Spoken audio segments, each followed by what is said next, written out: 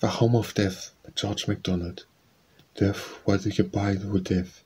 Abiding in breath, qua death, leave the pyramids and woman dreads of coffin lids, abiding of our life has been and was no more to be done.